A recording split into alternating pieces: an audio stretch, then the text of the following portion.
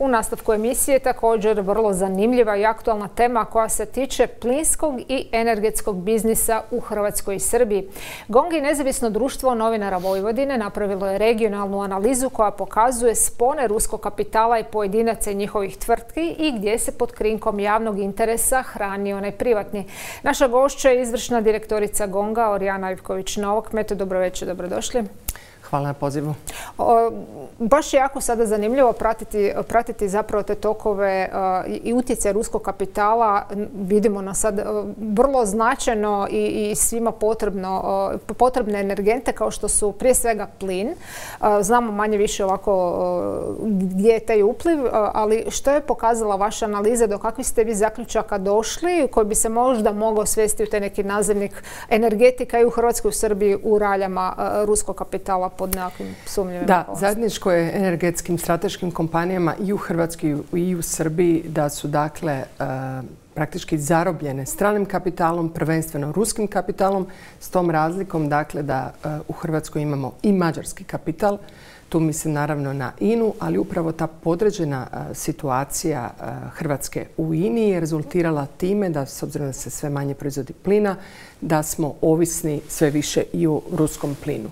Razlika između nas i Srbije je ipak u tom LNG terminalu koji se pokazao kao jedna alternativa tom ruskom plinu u ovakvim situacijama e, krize kao što je e, ova. Ali s obzirom da je taj plin skuplji, e, Dakle... Ne samo to, sad smo čuli od zastupnice Sandra Benčić da je pitanje tog zakupa koji ne znači da kapacitet koji je moguć na LNG-u može u ovom trenutku popuniti i zadovoljiti sve, hrvatske potrebe? Naravno, posljedica, toga je da smo mi Hrvatske proizvodila dvije trećine svog plina iz domaćih nalazišta, a sada je, ne znam, 80% uvoz.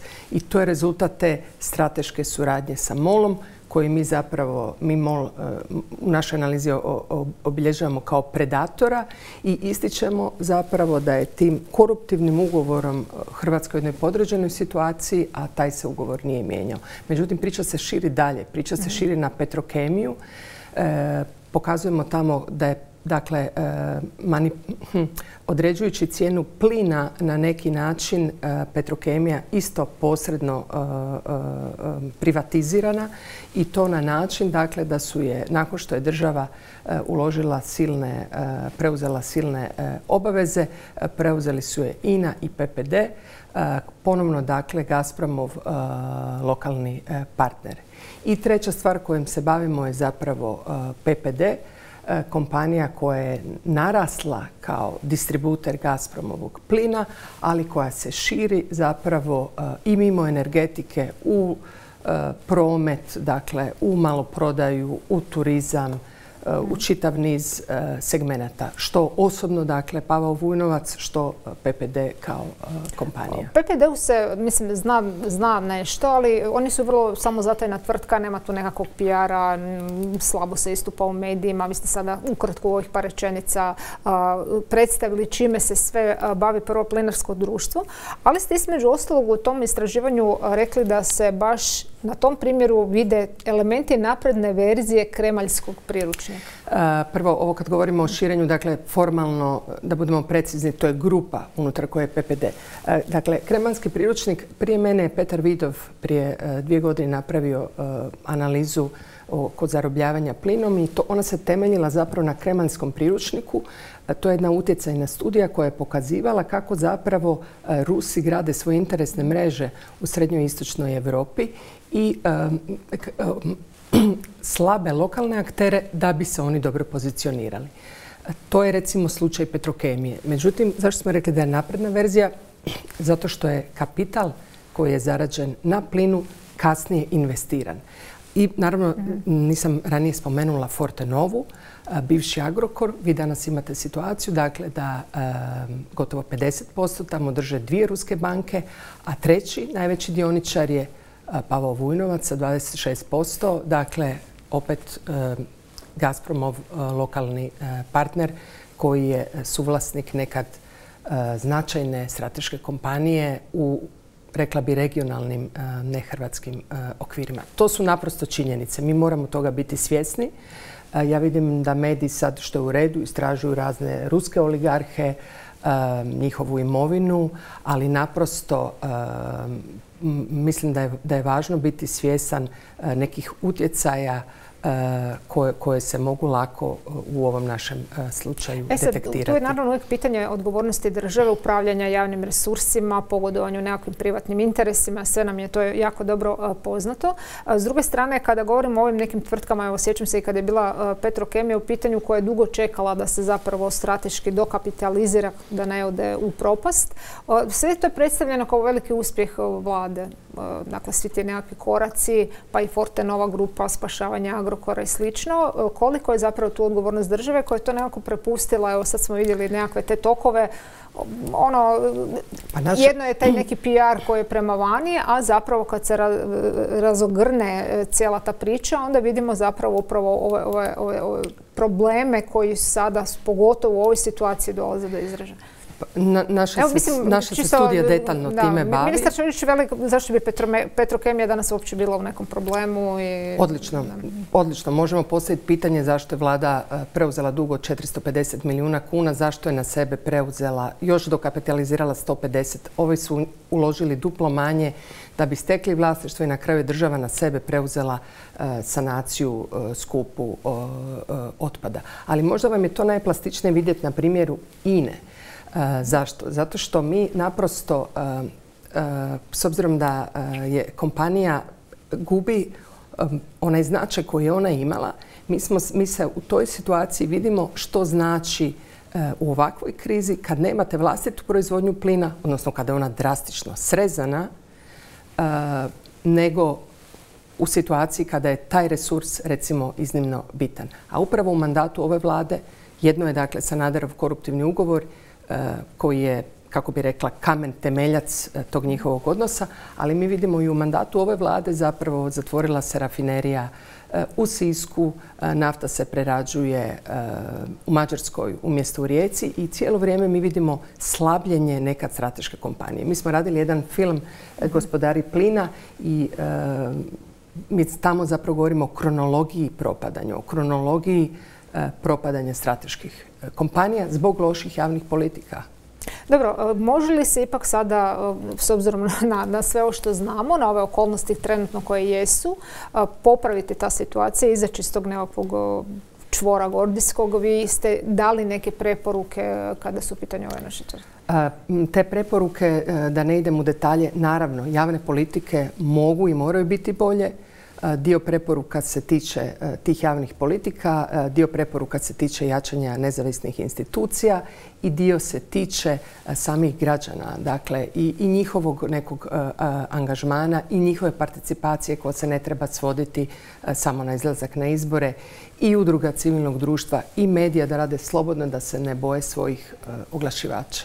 E, sada spominjete sve i nevažnost, neovisnost institucije. Kako ste u tom smislu doživjeli e, i ovu jučerašnju izjavu predsjednika države ovoga puta, iako je to e, znao napraviti premijer, baš gaženja i Dorha i Uskoka, dakle kada se propituju korupcija afere, vidimo zapravo od četvrtka kada je počeo rat u Ukrajini da su ove nekakve domaće teme zapravo ključne slabe točke. Mi smo se pitali hoće li pasti vlada, što će se dogoditi, hoće li se provesti neka šira rekonstrukcija, zapravo premijeru sad ta pitanja idu na živce kao da su nevažna s obzirom na ovaj e, globalni e, problem od kojeg naravno niko ne može pobjeći, ali zanemaruju se posebno, kažem, domaći aspekt tema i, i kažem, ovaj komentar e, koji stiže od predsjednika države kada je u pitanju DORH.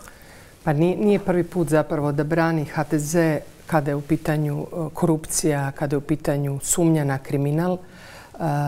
sjetite se slučaja Slovenske, Eh, kako je reagirao.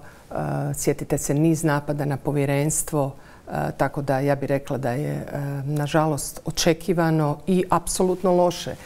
Mi smo godinama prozivali DORH i USKOK da, da se ne radi dovoljno dobro, da se dužnosnike procesuira tek kada padnu. Sada imamo dakle situaciju zaista dramatičnu. Jedan je ministar bio uhićen, protiv drugog se traži skidanje imuniteta, potpredsjednik vlade se također istražuje. Sigurno da nije dobro da, da takvi ljudi sjede u vladi. Dobro, ali vidimo da sjede, dakle, imali smo sada zapravo ovih nekih posljednjih godina prvi puta da se nešto je pojavilo, što naravno govori i o slabosti i kapacitetima nekim same, same, same vlade. No, s druge strane, kažem, koliko je neobično da ovo što ste vi sada naveli, dakle da su tri osobe ili, ili bivši, ili su bile u zatvoru ili, ili ih se istražuje. Mi nismo imali slučaj da se netko ko sjedi u vladi da se sada njime bavi DORH i USKOK. To nismo, mislim, prvi put imamo zapravo ovo, ovaj veli problem koji se sada pojavio u ovoj javnoj sferi. problem imuniteta ministara, dakle vidjet ćemo kako će se sada postaviti vlada, jer kažem, prvi puta se mora donijeti odluka hoće li se udovoljiti zahtjevu DORH-a. Apsolutno da, da, e, da su kaznena e, tijela počela raditi svoj posao. Ja mislim da je to dobra stvar. Mislim, e, nemojte zaboraviti, oni su bili izloženi velikim kritikama u slučaju Žalac, kada je zapravo EPO otvorio slučaj koji je ovdje bio zatvoren. Očito, očito se i tamo nešto mijenja. A braneći ove ministre, e, vi zapravo pokazujete, vi branite zapravo korupciju. Bez obzira što su oni još uvijek kako bi rekla, oni su nevini, mislim, nije im ništa dokazano, ali ovo, predugo traje e, e, cijela ova priča. Dobro, s druge strane, jesmo li mi kao društvo isto postali imuni na tu korupciju, bez obzira, kažem, što se dogodilo sa vladom, koliko god afere prati, kada govorimo o vladajućoj stranci, i oni su i dalje gotovo neokroznuto prolazili kroz sve te probleme, dakle, je li i samo društvo postalo um, tupo na tu količinu korupcije. Ja se doista ne sjećam da smo se tako, mislim jedna stignemo oko mediji pratiti sve te slučajeve koji isplivavaju. Razumijem, razumijem čemu govorite. Mislim da ne bi smjeli e, postati e, na to neosjetljivi. E, to, to naprosto nije dobro. Mislim da dobro je da mediji to prate. Razumijem da građani možda osjećaju neku vrstu zasićenosti, ali nije dobro da oko toga postanemo ravnodušni. Mhm. Mislim, društvo naprosto ne može ići bolje ako, ako ljudi misle da mora biti loš. Dobro, tu se nastavlja zapravo i na neke, na neke fraze koje ste vi mhm. isto primijetili u javnoj sferi kada se govori o ovoj posljednjoj aferi po babama i stričevima koja, kažem, je krenula prije dva tjedna uhićenjem. Da, nama je bilo jako zanimljivo zapravo kako se e, u javnost e, plasiraju e, ili kroz usta nekih analitičara ili, ili kroz neke ofove, kako se kao neka razna opravdanja plasiraju i ljude pokušava, e, kako da kažem, umiriti oko toga da ne postoji nikakav problem ako neko osobno nije spremio novac u džep, kao to nije korupcija. Mada se sumnja dakle na, na, neku vrstu trgovine utjecajem ili, ili, ili namještanja poticaja. Mislimo da je tu naša važna uloga zapravo da, da pokušamo razbiti te spinove, da pokušamo razbiti spin kad vam kaže mi nismo Švedska, kod nas to mora tako biti. Ne mora tako biti. Mhm. Mi duboko vjerujemo da tako ne mora biti. I što više građana vjeruje da, da se stvari mogu mijenjati, stvari će se mijenjati na bolje. Osim naravno svega ovoga, ono što nas je prateklo u protekle dvije godine je pandemija. Gong i osmu godinu zaredom jedan je od domaćina dana otvorenih vrata, odnosno dana otvorenih podataka. Mhm. Tu je sad problem te infodemije, dakle zapravo praćenja fake newsa, lažnih informacija kojih je zaista bilo, bilo jako, jako puno. Je, devetu godinu uh, zove nam se otvornim podacima protiv infodemije uh, i uh, jedan od, od zanimljivih panela bit će upravo znanstvenice sa sveučilišta u Rijeci, Osijeku i Dubrovniku će analizirati dezinformacije, tko su utjecajni dezinformatori, kakve sentimente izazivaju dezinformacije prema cijepljenju? Samo trenutak, pratimo naravno sve uživo. U ovom trenutku smo uživo slikom u Moskvi. Putin, predsjednik Ruski, ima sastanak sa svojim sigurnosnim osobljem, odnosno ministarstvom, povjerenstvom.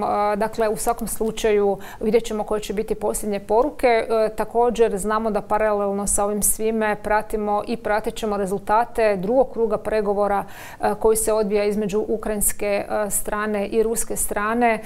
Znamo koji su manje više neke početne pozicije. Znamo da je to prvi krug pregovora bio zapravo potpuno neuspješan. Tu su se više možda razmijenili neki ključni stavovi i pozicije.